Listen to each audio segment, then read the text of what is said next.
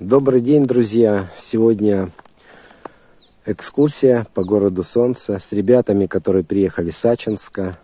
Солнечный день, тепло. Ну, попробую поснимать, показать вам, как это все проходит. Для тех, кто будет приезжать, будет наглядно картинка, как это все происходит, когда люди приезжают –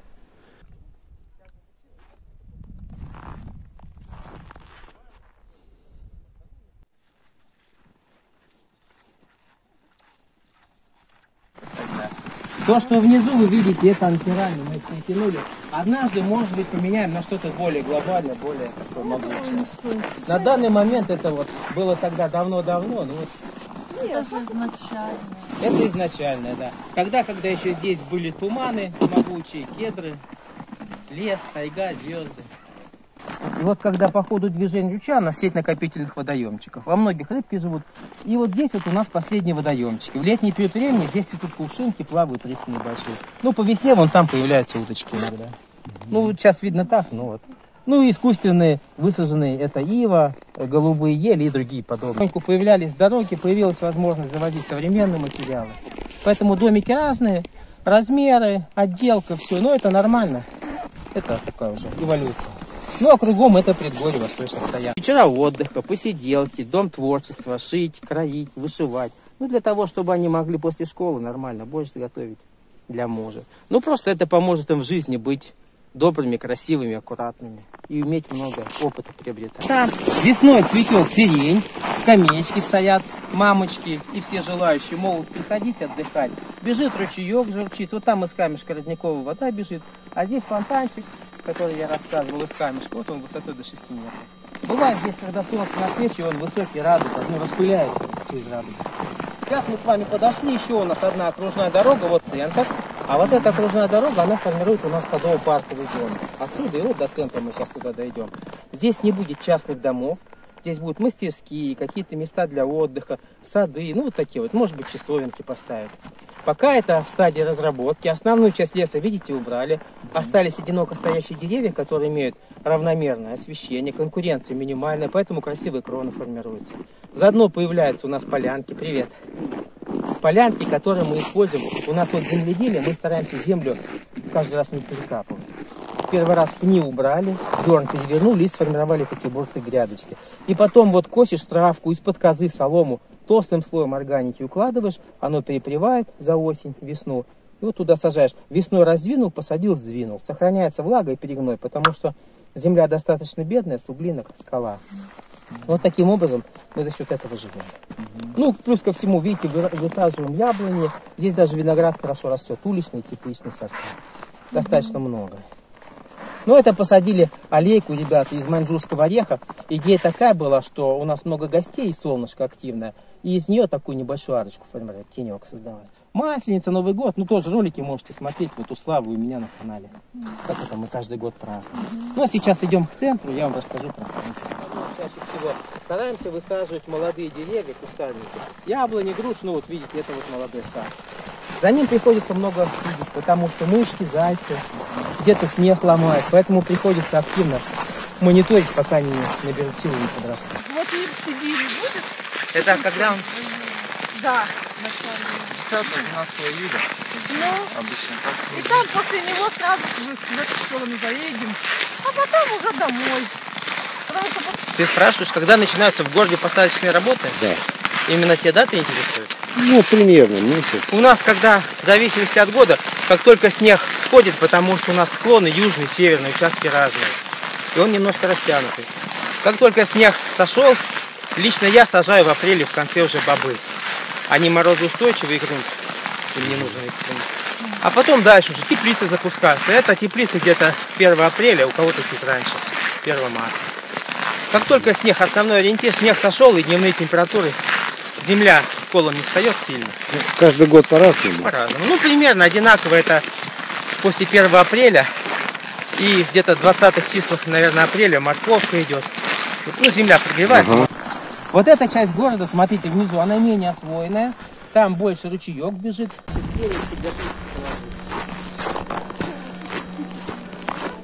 Ой, ты знаешь, я кормушку сделал прям под окном, так приятно. Только кошка, кошка. Ой, каких, ну да, такие. Это осиновые пластинки, которые есть станочек специально, тоже в ютубе есть. Ну, осина от солнца, она светится вечером. Она Ну, она устойчива. И зато ее очень легко поменять. Да. Вот дверка, то, что я вам Какая говорил. И здесь хранятся обычные такие вещички, кувшинчики для воды, свечечки, спичечки. Обычное хозяйское место, которое позволяет, чтобы дома не бегать, когда таинства какие-то происходят. Здесь храним, ну, рушнички, хлебушек для птичек. Ну, вот так это место. Любой веры, одно, который не пьяный, не адекватный, может зайти, помолиться, побыть наедине, как он считает нужным. Это нормально. Кедрики вокруг посажены кольцом, это олицетворение мужского начала. Пикточки вот под сугробами, их тоже подстригают, ухаживают. Это женское начало, символ гармонии. Летом подстригаем травку, зимой чистим снег, чтобы было красиво. Вот этот символ, выполненный из кедра, по-моему, в 99 году один из мастеров Игорь Мухов. Цельный кедр, крылышки только сегмент. Это олицетворение обители рассвета, символ обители рассвета, символ чистоты, мира, гармонии. Ну, свое понимание расскажу. Основание – это жизнь, цветок жизни, молитва единая с двух сторон. И там виноградная лоза – это жизнь. Два ангела спиной друг к другу стоят. Это как символ чистоты, символ высшего мира, который помогает людям жить на земле, поддерживать силы добра, красоты, любви. Ну, такая связь. Крест, круги крест – это символ веры.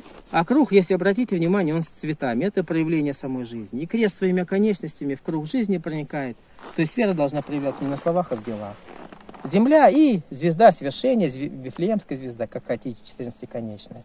Вот когда звонит наверху, звонится основная, сюда приходит служитель и входит 14 ударов. Здесь также, кроме выходных, собираются мужчины и гости, ну, женщины по желанию. Мы собрались, спели два-три псалма, потом взялись за ручки, поблагодарили землю, матушку, Бога за то, что мы живем. И потом выходим сюда, и вот на этой полянке у нас такой хозяйский круг, где мы смотрим, какие у нас за ночь прошли события, есть ли какая-то экстренность, если у кого-то там ветром что-то сломало, крышу снесло, мы тогда корректируем свой план. А так, каждый мужчина знает, где он работает в своем направлении, мы идем. Ну вот так. Светильнички зажигаем вечером. Здесь у нас в этом месте литургии начинаются, обряды венчания, ну такие духовные таинства приходят. Есть еще таинство такое интересное, э, обряд благословения на жизнь детишек маленьких. Рождается человечек маленький, когда теплая погода, родители и все желающие приходят, священник, и желает ему, поют песни, желает ему счастья, любви, здоровья. Такой делаем положительный потенциал, настрой для юного тела, чтобы он стартовнул в нашу непростую сложную жизнь. А потом, когда человек вырастет, он сам поделится, каким ему путем идти. Ну, по вере, как он посчитает правильно, нужно. Ну, к этому месту мы трепетно относимся, поэтому мы стараемся, когда если люди туда захотят зайти, то они, знаете, как будто бы заходят э, в алтарную часть храма. Ну, желательно телефонные звонки, не это. Можно побыть наедине, помолиться, как вы считаете нужным своей молитвой. Вот всё.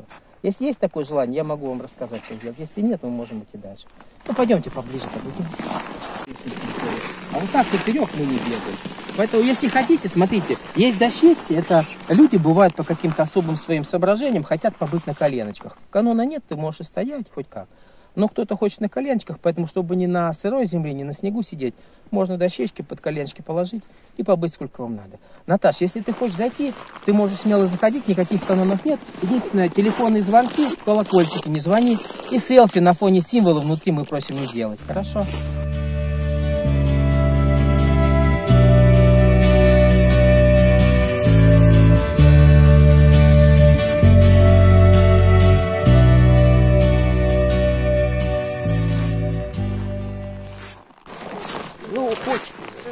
Собираю, вон ребята выкидывают принтера. Принтер домой принес, разобрал, двигатели вынул, машинку сделали. Машинку там, этот самый, кораблики с парусами пускаем.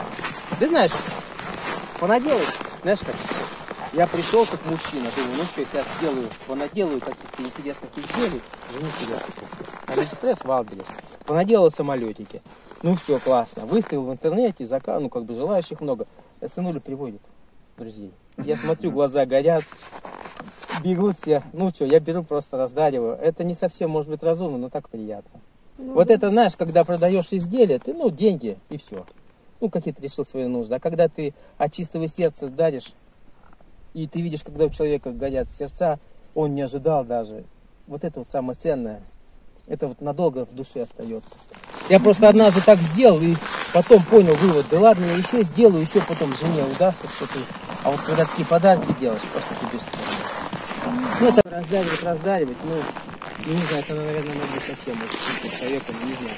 И жену иметь совсем, как есть. Хочется, чтобы она красивая была, накрашенная. Конечно. Ну, Тем более, если подружки. Ребята наши сделали, потом в хату, чтобы универсиада была. На этой сцене у нас летний период времени. Танцы, йога, балет, выступления. На праздники, когда нам разрешали раньше. На 18 августа у нас день открытых дверей. Люди приезжали, мы ставили указатели. Ну, объясняли, как себя вести, и люди свободно перемещались. Здесь у нас мастер-классы на полянках были, концерты, выступления, все вместе организовывались. Вот эта сцена, она позволяет в летний период времени проводить массовые мероприятия интересные. Поздравления, у нас мужчина есть один, ему 82 года вот стукнуло, и он не знал. А наши девочки тортики испекли, небольшое видео сделали. И он пришел на обычное, стандартное какое-то такое летнее, ну, караоке вечернее наше городское. И тут ему поздравления со всех сторон, он не ожидал даже запомнил. Ну, такой от радости. А так у нас и школа балета здесь, девочки выступают, маленьких девчонок учат, и концерт дают, свой коллектив есть, да и всякие-всякие. Ну, мужчины могут какой-нибудь футбол посмотреть большом, да. Ну, В небесной обители уже есть большие деревья, я гостям часто показываю. Когда летом приходишь, на дерево нажимаешь, у него кора как резиновая проминается. Так необычно, прям как будто, знаете, резиновое дерево. Вот это вот маленькие палочки тоже будут деревья, амурский бархат. Он вырастет. Такая же будет красота. И- да, и есть ягоды не надо. Кушать туристы говорят, а можно съесть ягоды? Лучше не надо. Они красивые, да. красивые, но пусть Да, Ловить. Перчатки детскую. И долго лежит, снегом засыпает. Я сфотографирую, потом в чатах выставлю. Девочки чьи. А так можно спокойно оставлять вещи. Их никто никуда не заберет. Спортзал красивый, маты для детишек, теннис, дзюдо, ну всякие. В зимний период времени там у нас такие э, новогодние мероприятия. Дед Мороз приходит часто, подарочки дает. Ну, такие разные, для разных, разный уровень. Детишки старше, помладше. вот так. Сами готовим, сами себе и рады. Много. Волков только никогда не было. Мишки заходят, ну, змеи, бурундуки и всякие-всякие, косульки. а, косульки, они такие красивые. А знаешь, ночью забежит, я слышу, а, они вот эти косульки или козлы, они когда заходят, и у них такой, они как будто гавкают, такой, «Вуф, вуф, вуф». и вот выйдешь на улицу и не поймешь, прям около дома кто-то гавкает. Это вот это вот косулька да, большая маленькая. косулька. ну. Они небольшие, знаешь, маленькие. Это 98 год, примерно первые палатки. Женщины оставляли в деревне, потому что условий не было. Мужчины заходили в вахту, ставили палатки, обтягивали полиэтиленом, засыпали листвой. Зиму, ну как это, зиму даже проводили, поднимали участки, осваивали, деревья лишние убирали согласно генплану. А потом период наступил, когда нужно было все-таки женщин. Нас кормить, огоря- огородки новые делать, все это. И мы тогда, я вам буду проходить, покажу, несколько таких модулей поставили в виде пирамиды Хеопса. Ну, тогда это у нас считалось, ну, можно сказать, элитное жилье, деревянный пол, кирпичная печка с духовкой. Ну, у нас последнее осталось, будем сейчас проходить, покажу. И вот в тот период времени клещей было очень много. С себя снимаешь штук по 20 и нормально все обходилось. Ну, тогда еще детей не было, такой, не, не так было много людей. Потом случай э, был, когда пожилого человека укусил клещ, осложнение энцефалитное. Мы скидывались вместе на лечение, ну, экономически сложно оказалось. И поэтому мы сейчас страховку оформляем. Клещ укусил, его на анализ минусинск, и в зависимости от диагноза уже либо браулез, энцефалит, ну, курс лечения. Ну, вот так. Прививки нет от Раньше промежуточный этап был. Клещ укусил, ехали в Курайкино по страховке, нам иммуноглобулин раз в месяц, если укусил, через месяц еще раз. А Плановые прививки не делали. Ну, если кто-то хочет, пожалуйста, но обычно нет. Я знаю, что есть какие-то плановые там годовые, ну, такого нет. Ну, обычно живем, ну, вроде бы и ничего. Травить клещей, это на велосипеде, основное средство перемещения. Травить клещей здесь опасно, потому что у нас пчелы. А, ну, пересекается. конечно, конечно. А мы стараемся, знаешь, когда много клещевой сезон, если много людей в гости к нам приезжает, мы стараемся с утра молодых людей, такая простынь широкая по всей дороге, по траве, по бокам. Ага. Вверх-вниз они прибежали, ну, максимально со- собрали их, да. Ну, остальное уже индивидуальные средства, репеллент или у кого-то есть. Ну, в разумных пределах, чтобы Ну можно да. было рядом идти, а то бывает. Слов было очень много, прям по карманам, по рюкзакам бегали.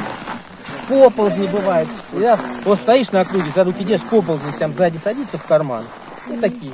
Да, Ну, сейчас сейчас заходили, подходили, видели, поползни. здесь животных достаточно много. Ареалы обитания немножко оттеснили, потому что меньше леса стало, кошки появились, поэтому... Хотя змейки, змейки выползают на дорожку погреться. Ну, это больше осенью весной. Ежиков жалко нету. Хотел Денис как-то ежиков завести где-то у тебя здесь. ну. Вот это дубы. Тоже это все искусственные посадки. В естественном виде они здесь не растут. Не росли. Сейчас уже, растут. знаете, климат меняется. В прошлом, позапрошлом году у нас два раза подсвеж... эти, подснежники цвели. Вот они обычно апрель, май, и потом вот смотрим октябрь. Прям зацветает полянки. В октябре вот эти белые цветочки. Груша тоже самое, август. И плоды уже крупные созрели практически, и цветы новые появляются. Но это сейчас, мне кажется, у многих. Я вот в деревнях смотрел тоже, яблони такие. И здесь тоже, вот раньше в Сибири зима, значит, зима как зима. А сейчас амплитуда такая, днем бывает там минус 20-25, а под утро там 0. То есть наоборот, ну, такие вот перепады большие. Ясно, он у нас ответственный за электротехническое направление. У нас, смотрите, стоят одиноко стоящие деревья появляются, и бывает иногда молния. Вот кедр попадает. Если мол- молния рядом бабахнет, в радиусе там 50 сколько-то метров может перегорать проводка, компьютеры, ну все-все такое. Поэтому желательно ставить защиту, громоотводы какие-то. Вот Коля помогает. Ну и дополнительно, так в шутку я называю, местный кулибин, генераторы Тесла, вечный двигатель, ну такой. У него свой есть электро, такой трехколесный мотороллер. грузовой. Тоже на электриках. Вот ехал. Вот там на поляне. Ну и будем на обратной дороге, я вас вот так проведу. И чтобы побольше посмотреть. Да, мы хотим. Электроснабжение индивидуальных домов происходит за счет количества солнечных батарей, которые обеспечивают полностью. Тут, наверное, почти 2 киловатта, да? Меньше. Поменьше. Вот те две по 100, ну эти маленькие 70, 50, ну примерно ватт 800. Вот в этом помещении жена с девочками бисероплетением занималась. Ну, это их участок. Ну, летом здесь красиво. Дорожку они сделали из камня. Олежка выставляет свои изделия резные из кедра. Единорога, скамеечки, вот там вот. Это вот все он украшает.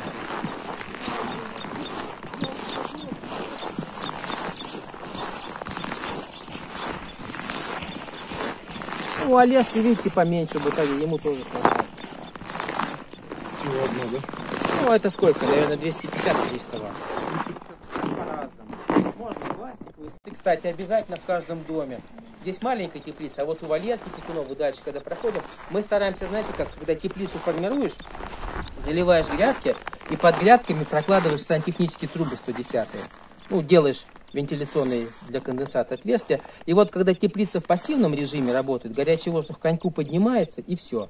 60 градусов, мертвая, ну, нехорошая температура, а внизу, и вот, вот этот горячий воздух, когда трубы под грядками проложены, вентиляторами загоняешь, в конце февраля он циркулирует, земля быстро оттаивает, согревается, корешкам тепло. А света уже в конце февраля у нас достаточно много. И теплица быстро прогревается, корешкам тепло, за счет этого у нас ранний урожай. Огурцы, помидоры. Вот. Ну, Тоже такая система, да. Коля, ты понял? Таня. Ну, параллельно еще мы тут станции.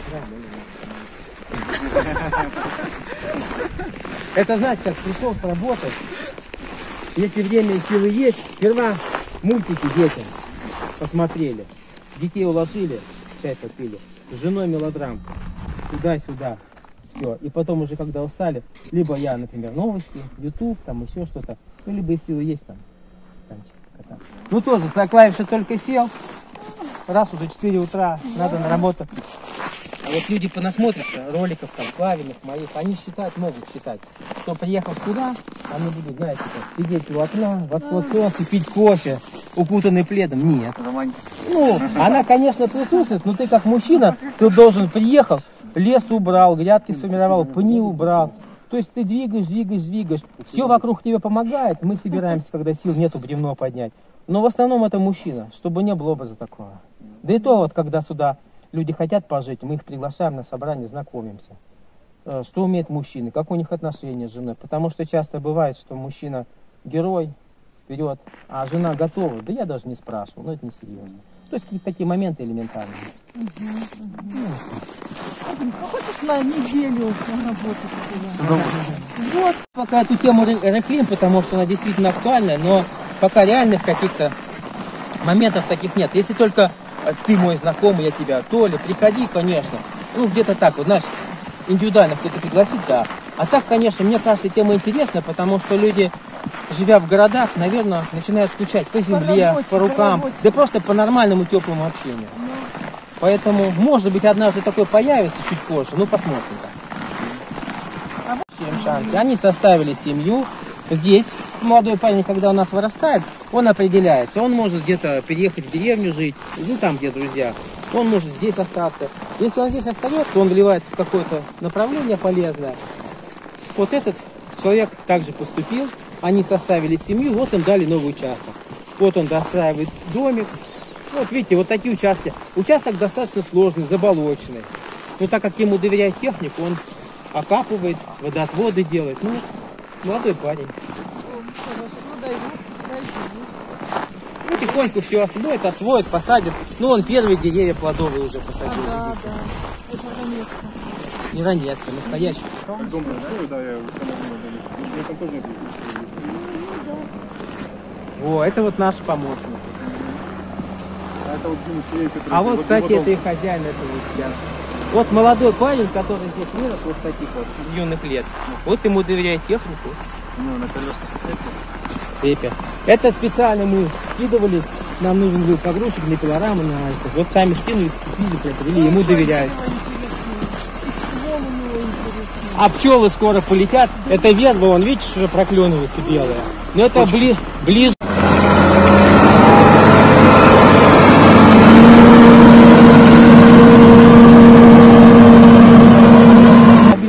На окно. Мама в Воронеж сегодня. И полчаса по WhatsApp, по телеграмму. Они видят всех детей. Все такое. Ну и так. Ой, вообще Сейчас хорошо. такая вот цивилизация. Смотрите, это для нас также относимся к этому месту трепетно. Священное место, которое мы называем Долина Слияния. Оно тоже пока в стадии строительства идет. В зимний период времени мы стараемся максимально украсить, насколько наших сил хватает для того, чтобы это приятно. Вот. Ну, однажды здесь когда-то форму примет более завершенную. Сейчас я вам предлагаю, вот здесь вы формой, а потом, если заходите, поднимемся. Я вам покажу, как работает интересно-звуковая стена. Вот этот весь камень, который вы видите, это не привозной. Это тот же Али, который у нас здесь живет. Вот из камней, которые вокруг лежат, он чувствует линии напряженности, засверливает, скалывает. Мы ему только помогаем. Вот эту красоту, это все местное. Вот хочу вам рассказать, почему вот это место долина слияния. Где, когда люди заходят, кто хочет здесь стараются использовать скамеечки, дощечки для того, чтобы сесть на коленки, для тех, кто сзади стоит, чтобы было визуально видно. Вот так мы размещаемся. И когда приходит учитель, спускается по лестнице, садится кресло в виде орла, сделано нашими мастерами. Он садится, закрывает глаза, и примерно 5-7 минут мы обозначаем таинство такое, как, когда каждый, кто хочет, сливается ну, внутри с его состоянием, сердцем, как умеет, как хочет. И режим тишины, и звонит колокол где-то в течение 7-9 минут. Потом заканчивается, открываются глаза, у учителя микрофончик, и он предлагает, если есть кого-то жизненно важные вопросы, вы можете задать.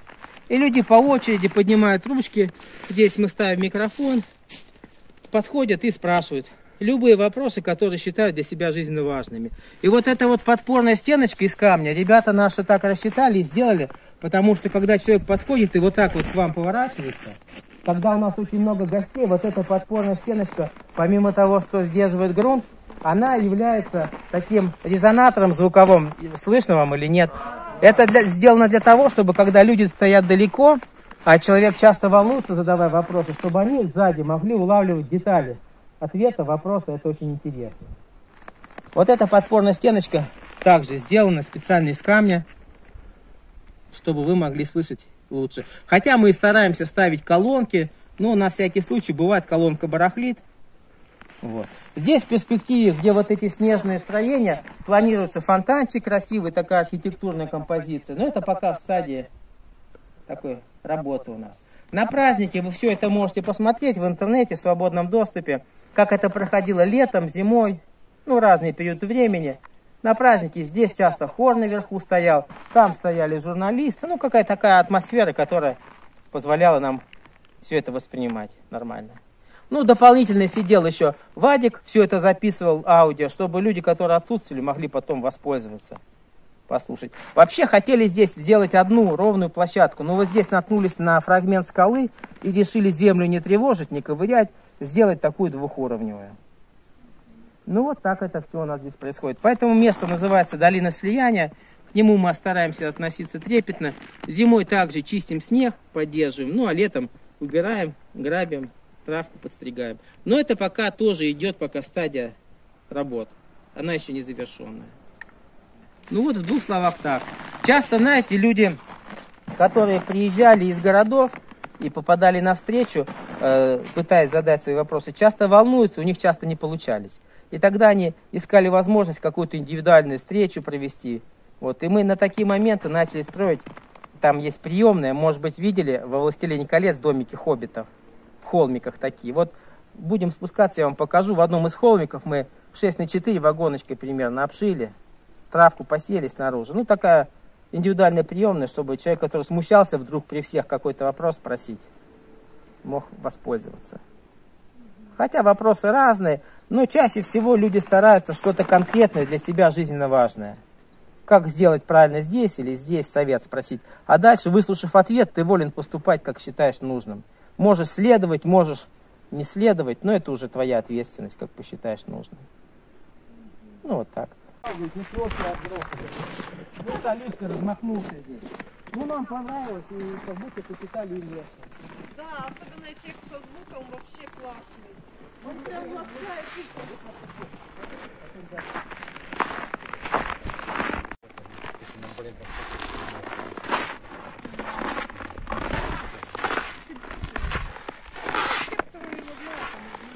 Бегом поближе и сзади. Девушка, которой я вчера познакомился, Наталья Дучева, она говорит, э, нас, подружка. Вот думаю, ну, через 29. Ну, щиты деревянные. Накидываем снег и затаптываем. Бригадами ходим, утаптываем. И он через сутки, два-три, он структурируется и приобретает форму такого плотного. И потом убираешь стенки, щиты, и макет рисуешь, и все, выпилишь специальным такими инструментами. Ну, такие железные Ну, очень эффектно смотрится. А еще мы, знаешь, еще бывает, когда на озере у нас на катке, там ледяные скульптуры из льда. Они с подсветкой тоже очень красивые. Потому что вот до этого, когда до спецоперации, очень много было желающих, журналисты, последние последователи. Тогда были приемы в доме, неудобно было. Там семья, и мы начали строить вот эту приемную, и тогда, если ты хочешь, там залез, э, ну, по очереди, и стоишь в свою очередь, ждешь, и попадаешь и спрашиваешь. Это там тоже оливы кладывают. Да, это в интернете все есть, у Славы или у Саньки Староверова, это все есть. Это наш тот же Алишка работает. Это Вова Тиньков, это Денис Сафронов. Это улица Звездных полей. Вот на ней, кстати, гоняют оттуда, вон до самого низа. Когда дети катаются, у нас правило, перекрываем дороги в вечернее время, ставим такой шлагбаум, чтобы... И даже если шлагбаума нет, машина подъезжает или снегоход, он принципиально должен остановиться, посмотреть и дальше. Потому что дорога достаточно длинная, скользкая.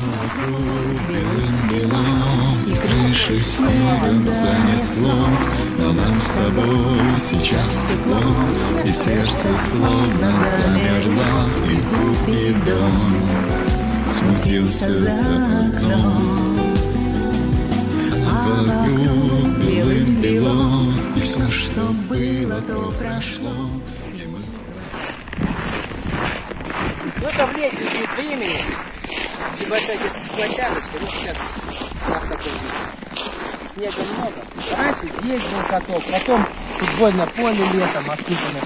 Еще и снегом засыпано. Он не перемерзает всю зиму. У нас морозы были критики больше. Он не перемерзает. Вот это чисто кипяток. Ну, холодно, смей, чтобы это. Зубы не это. Да не, не замерз. вообще.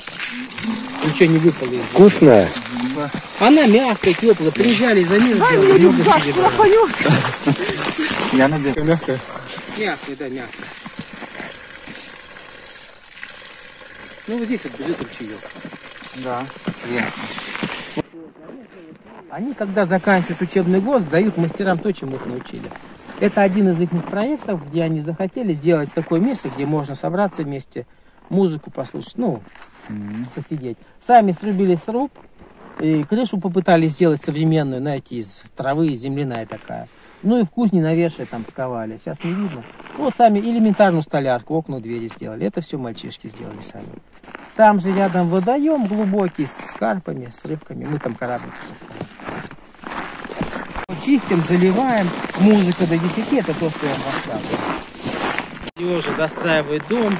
Внешней отделки еще много. Это он делает сейчас, варит себе балкончик. Вот у него пять девочек. Это получается откуда-то привозят, с леса, да? С лесосеки мы заготавливаем, вы- выделяется белян каждому хозяину. Мы помогаем друг другу вместе все это готовим. Это котяра, знаменитый.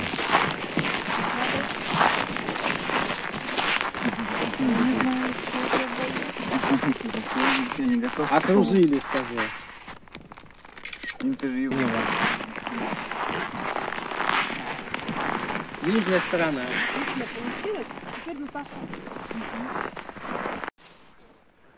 Улица Озорных дождей 6.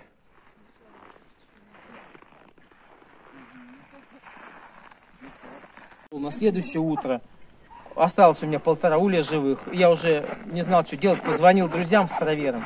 Они говорят, ну, проезжали мимо там, знакомые, я им попросил. Они говорят, если ничего нету, купите коньяк, наломайте соты, коньяк. Медведь начнет кушать, пьянеть, вырубается быстро. Вы его связываете и к нам за тридцатку увозите. Я как балбес накупил, вот здесь с биноклем сидел всю ночь. Смотрю, под утро вышла медведица с медвежатами. Понюхала, не стала ничего и обошла. Зашла в Нижний город, где у нас Адриан Каст... Здрасте. О. Адриан Кастер. Вот представляешь, ты поели овес, увей и ушли. А я потом вот пьяных пчел своих неделю не мог собрать, они добирали вот этот коньяк весь. Ну вот от греха подальше убрал, сейчас восстанавливаю. Вон там. Слава, он тебе понравился. Вот это мое хозяйство. Вон мой трандулетик. Я на нем будку ставлю с женой за шоколадками. А если будку снимаю, сеном давай здесь. Вон моя мастерская, там виноград засыпанный, сейчас уличный растет. Посуду делаю, игрушки, безделушки. Ну, это мой домик. Это козлятник, курятник. Ну, заготовки для ужина. Ну вот, мы на выходе из города Солнца. Даже не верится, что вот это вот все путешествие состоялось. Я много лет мечтала сюда попасть. И я была в этих во всех местах, где, которые мы только видели по телевизору. Совсем здесь не страшно, как вам рассказывают. Здесь очень даже прекрасно. Прекрасные люди, прекрасная природа, животные, зайчики вот бегают везде. Люди очень добрые. Везде нас принимали. А, Экскурсия была очень интересная. Ну и, в общем, я думаю, что нужно просто... У кого есть сомнения, что здесь что-то с людьми происходит, что здесь происходит что-то страшное, нужно увидеть просто своими глазами. Ну, самим почувствовать, вот, пообщаться с этими людьми и через сердце свое вот, почувствовать, что где правда, где ложь. Ну, вот так вот. Мгм, Спасибо. Я очень довольна поездкой. Э, Море позитива. Э, Нас вкусно кормили, угощали. Люди солнечные, отзывчивые. Э, Много детей. Мы ну, увидели, что вот есть и помогают, что-то делают. Ну, Чистый поселок.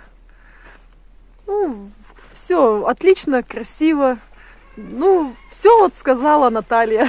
Нет, я еще хочу сказать, я еще хочу сказать о природе, о которой люди здесь заботятся, где они подходят вот каждому деревцу с каким-то трепетным отношением. Вот это здесь нельзя вот ничего убирать, потому что здесь бежит ручеек. Здесь вот дорожку нужно вот здесь провести, чтобы здесь вот не повредить, там что-то растет. Ну, я вот нигде не видела такого трепетного, что люди не делают так, как им удобно, а так, как чтобы вместе жить в гармонии с природой и не навредить ни, ни животным, которые здесь, ни деревьям. Ну, вот, и оставить эту красоту и сделать это место еще прекраснее. Вот. А я коротко скажу, я еще сюда вернусь обязательно. Ну все, едем дальше.